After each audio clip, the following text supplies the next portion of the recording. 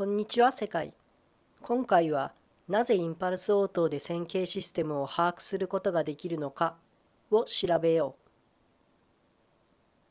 こういう説明受けたことない線形システムの特性はインパルス応答を見れば全部わかるんだ。なんでかっていうとインパルス応答のフーリエ変換が定数だからだ。って言ってこんな式を見せられたりして。は？わかるか？そんな説明で。頭セグメンテーション違反してんのか？どこから出てきたんだ？そのインパルス関数は？なんだ？その詐欺みたいな積分は？ポコンと叩けば全部わかっちまうんだ。ってお前の頭にパチキかましてインパルス音見てやろうか。というわけで天下り的説明には納得いかないよね。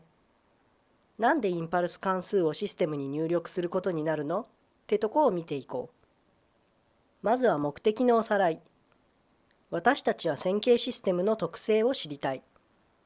線形システムの特性って何かっていうと、これは周波数特性のことだとしましょう。つまり、大きい塔が地震で揺れた時、てっぺんはどれくらい揺れるかとか、回路から欲しい周波数の信号だけが出てくるかとかね。周波数特性ってのは、ある周波数の信号をシステムに入力した時の出力の振幅と位相のことね。周波数特性がどういうものかもうちょっと詳しく見てみよう。横軸に周波数、縦軸に出力の振幅や位相を取った図を描こう。まず周波数 F0 で振幅1の信号を入力して出力の振幅が A0 位相の変化が φ0 だったとしたらそれをプロットしよう。周波数を F1 に変えて出力の振幅と位相を確認。周波数を F2 に変えて出力の振幅と位相を確認してプロット。これを繰り返していけば周波数特性が得られる。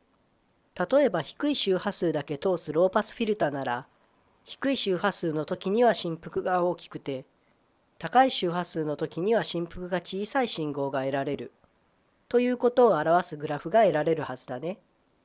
だけど1周波数1周波数調べていくの、しゃらくさいよね。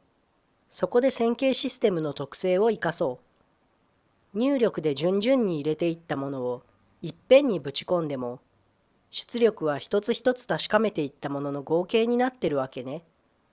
これは線形性の条件の一つ、可法性から成り立つよ。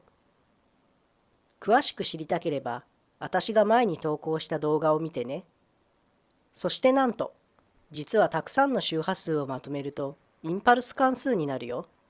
これがなぜインパルス応答が線形システムを説明できるかの理由なんだ。なぜインパルス関数、つまりデルタ関数が全ての周波数を含むのかは、私が前に投稿した動画を見てね。インパルス関数は全ての周波数を同じ大きさで含む。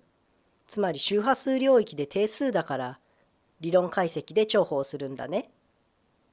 さて、インパルス応答で周波数応答が丸分かりなことは分かったけど、政治性から言って入出力の比が分かればいいんだから、何も全周波数において定数で同位相な必要はないわけね。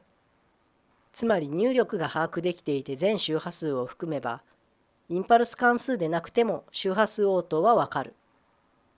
入力と出力の比が分かれば政治性からどんな振幅の信号を入れても出力の振幅の予想はつくからね。さて全周波数を含む関数ってどんなのがあるだろう？例えば FM チャープ信号徐々に周波数が高くなっていく信号だね。これは周波数軸上を時間的にピークが動いていくような関数だよ。あとは疑似ノイズ。これは長い時間で見れば周波数軸上で振幅は一定だけど位相がバラバラな関数だよ。あとはステップ関数。これは周波数に反比例して振幅が小さくなるような関数。そして疑似ランダムビット列。これはシンク関数上のスペクトルを持っている。必要な帯域、つまり自分が見たい周波数帯でパワーを持っていれば周波数特性の把握はできるね。まとめとして話の流れを整理するよ。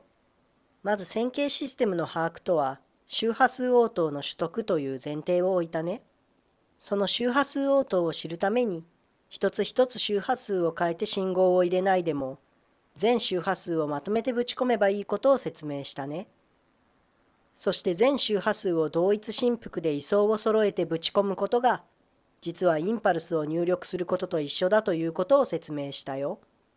だからインパルス応答を知ることで周波数応答すなわち線形システムの特性を知ることができるんだ。そしてその理屈がわかると自分が見たい周波数帯の信号が含まれていればインパルスでなくても周波数応答は得られることが分かったね。大事なのは理屈。じゃあまたね